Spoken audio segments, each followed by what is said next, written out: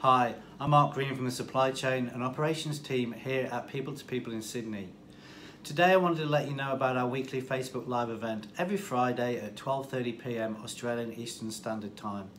Each week our Group Managing Director Mark Smith will be live on Facebook to give an update and snapshot of what's happening in the market. This includes a general market update and relevant statistics, an interview with one of our consultants highlighting a hot job for the week, and some great job hunting tips from one of our experienced team, and a questions and answer session at the end.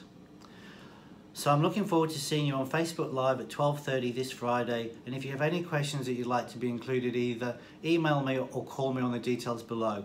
See you on Friday.